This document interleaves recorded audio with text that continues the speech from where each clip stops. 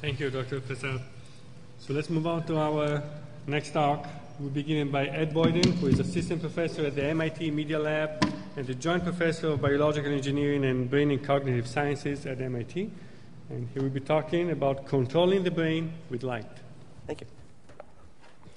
Okay, so um, I'm going to tell you a, a couple stories today about our attempts to use light to program information into the brain and what we think we can do with it, both from a basic science standpoint, understand the principles of how the brain works, and also from a clinical standpoint. I'll show you some preclinical work we're doing to see if we can treat brain disorders through beaming information into targets in, in the brain with light. And the basic problem is due to the fact that the brain, unlike, let's say, a silicon computer, is made out of many heterogeneous parts. Cells that come in many different shapes. There, some are small, some are large, some have different molecular compositions. And they come in many different flavors. And importantly, also, different cells are atrophied in different diseases. So, for example, in some disorders, like such as epilepsy, you see destruction of certain cells. In others, such as schizophrenia, you see destruction of yet other cells. So, ideally, we'd be able to dial in um, some information to, to, treat these disorders. There's, of course, a very large number of disorders. Many of these disorders um, affect a significant fraction of the world's population. Um, and as you can see, looking over this list, many of these are untreatable. And of the ones that are treatable, say with pharmaceuticals, almost every treatment has prominent side effects, and the cost is enormous. So what we want to do is to figure out how can we program the brain to do uh, proper computations. Of course, pharmaceuticals have been one of the great success stories of the 20th century, antidepressants, uh, drugs for bipolar disorder, and so on and so forth. But of course, as you might imagine, they're going to bathe circuits in a drug and will affect both normal as well as abnormal cell types. And of course, over the last uh, several decades, uh, electrical stimulation has become quite prominent. There's probably about a quarter million people or so who have some kind of electrical implant for stimulating the cochlea or stimulating deep brain targets using electricity. But like drugs, electricity is going to go in the path of least resistance in all directions and will also affect within a microcircuit some of the, the normal cells as well as the abnormal ones. So what you really want to do is be able to target defined cell classes, specific cells which are either defined by their properties, their computational properties, their anatomy, or by the way that they are uh, affected in brain, different brain disorders. And of course, we're all here because we like light. We'd love to be able to turn them on and off with light. And so, in order to do that, we've gone back to nature because photosynthesis and other methods for converting light into energy exist. Uh, of course, the brain works through electricity, so if we can convert light into electrical energy, which is kind of what photosynthesis is, then we win. So, um, about five years ago, I initiated a collaborative project. Uh, other prominent people on the project include Carl Deisseroth and Gerard Nagel. Uh, we published a paper showing that if you take a, a, a, molecule from algae that the algae uses to navigate towards light, the molecule looks something like this, um, you can actually uh, take this molecule, which has unique properties. It actually, when you shine light on it, will open up a little pore and let ions in, which is exactly what you need in order to drive a neuron. So we took the gene that encodes for this protein. It's a completely genetically encoded reagent. There's no need to add chemicals or to add any kind of supplement to make it work. You take the gene for this, this protein, and we put it into a virus, so the virus can deliver the gene to these neurons. The neurons will take up the gene and express them, and here you can see these neurons glowing and labeled with this, these proteins. And to a surprise, it pretty much worked on the first try. You fire pulses of light at these neurons, these pores are, are expressing on the membrane. They open up and let positive charge in, and you can make them fire action potential. So here you can see these blue pulses of light resulting in action potentials, not unlike the ones that are happening in your auditory cortex right now as I say these words. And if you put an optical fiber coupled to a laser into the brain of an animal, then you can do all sorts of interesting things. So one of the things that we've been working on is to try and see if you can use these tools to activate neurons and see what they do. What is the sufficiency of a neuron to drive a behavior or to cause a pathology or to overcome a deficit? And so in a paper that we recently published in collaboration with Cliff Fonstad's group, we've been building these multi-waveguide arrays. To make a long story short, these waveguides terminate at different depths along the probe axis. This probe goes into the brain. And as you can see, at the, uh, at the waveguides, let's see, there's a laser pointer here. The waveguides go different lengths down the probe axis. And there's a little mirror here that bounces the light out to the side. Um, the actual waveguide itself is a very simple oxynitride glass waveguide.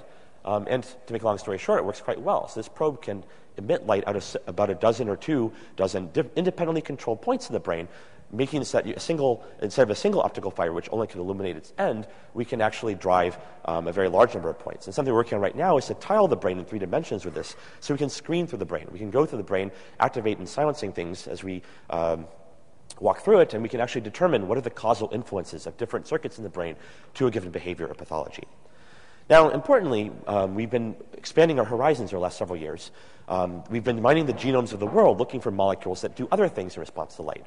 And as an example, you can shut down cells if you were able to put negative charges in, right? That's just hyperpolarizing a cell. Or you could also shut down a cell by pumping positive charges out. And over the last couple of years, we've published a series of papers um, which do just that. So here is an example of a neuron spiking away. That's what these little uh, dots are and uh, we turn the light on, and you can see this silent period where all the neurons are quiet.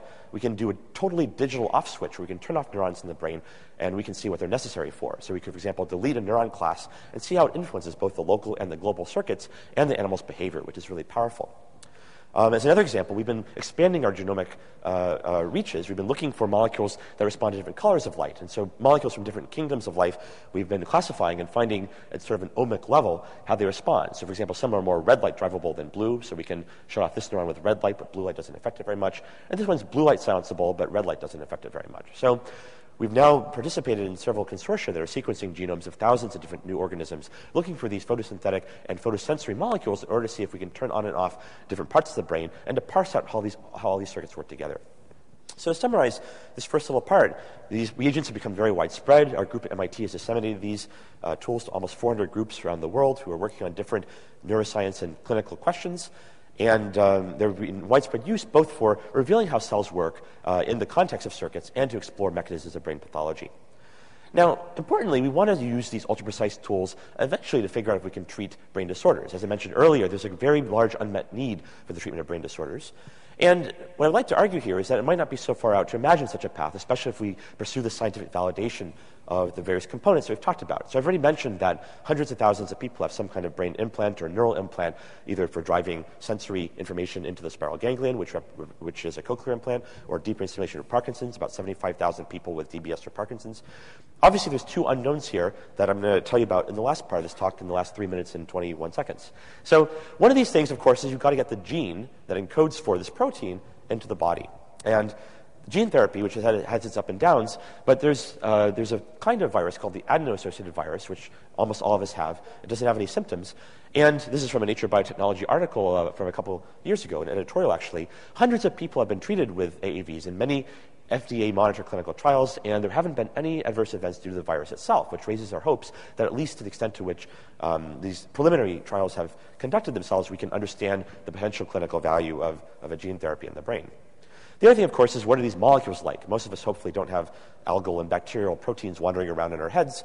Obviously, we've got to test those out as well. So we started a collaboration um, that investigated in a preclinical study what these molecules act like in the brains of non-human primates, which is sort of the gateway towards neurotechnologies getting into the clinic, given the similarity of those brains to, to our brains. So we collaborated with Bob Desimones and Anne labs at MIT, both who, who do non-human primate work. And Pretty much again in the first try, we found out that indeed these molecules function. So we could fire pulses of blue light, and this is in the non-human primate, uh, rhesus macaque to be precise, uh, cortex. We could use pulses of blue light and fire action potentials over periods of days to months, and the action potentials looked normal. There weren't any differences from, once again, the kinds of action potentials that are firing in our brains right now, as far as we could tell. So the next thing we wanted to do was to figure out, well, what are these molecules like, right? Because molecules that are foreign to the body can cause immune reactions. And once again, these are molecules that, to my knowledge, have never been in natural brains. So we looked at both our depolarizing opsins and our hyperpolarizing opsins, the ones that turn neurons both on or off, and we collaborated with a pathologist, Roderick Bronson, uh, who works across Harvard, Tufts, and MIT, to try and understand what these molecules would do. And to make a long story short, in terms of me- measures that are of importance in pathology, such as you know, derangement of the geometry of these cells, cell death, invasion of immune cells, there didn't seem to be overt problems with these preliminary uh, uh, uh preclinical studies. That said, we're continuing to, in our genomic search, try to find molecules that express even better, even safer, even more uh, high fidelity. Even as we test things, we're continuing in a vertically integrated way to pursue better molecules, better devices, and so on and so forth. In a short talk like this, I can't talk about all of them, but working on things ranging from wireless devices that are fully implantable, that can control various light sources that are made in a solid state fashion, all the way to um, other things as well. Um, we also looked for production of antibodies against these molecules. That's always something that's important to look for. Once again, it's preliminary, but we were uh, inspired by the fact that we didn't see overt responses. And we've also started to find silencers as well and, uh, and to put them into the brain. Uh, and in our preclinical studies, there doesn't seem to be any problems with them either. So I want to show one last final um, story, which is that many forms of blindness where you lose your photoreceptors, your light sensors, but the rest of your retina, the, the part of the eye, of course, that receives light, is still intact. So what if you could just take the rest of that eye and make it sensitive to light, basically converting it into a camera? So what you can see here on the left is indeed photosensitive, normal retina, and on the right you can see a big gap where those light-sensitive cells are gone. So this is all done uh, by Alan Horsager, and there's a company, EOS Neuroscience, in which I'm an advisor. I just want to show you, this is a, a, a mouse that's blind. It's a model of human blindness. Um, and he's trying to solve a maze. There's a bit of water in the maze to motivate him to move, or he'll sit there. And the goal for this particular maze is to go towards that platform at the top. And mice are smart, so he solves the maze, but he does it in a brute force search by going down through every single uh, alleyway. And I won't bore you with all these uh, movies just because you know, they, the mouse just goes in and out all the time. Now, one of the things that's, uh, uh, uh, this is now a mouse that has received one dose of the light-sensitive protein chaudirapsin 2 after being blind before, and now you can see the animal can use vision to drive its cognitive uh, processes. It can avoid walls, it can go towards the targets, and in general, we're seeing uh, effects where we can restore some functional uh, responses in mice that were previously blind by installing these photosensors, basically like artificial photosensors in the retina. And that's my last slide. I just wanted to throw up um, the uh, acknowledgments, and thank you very much.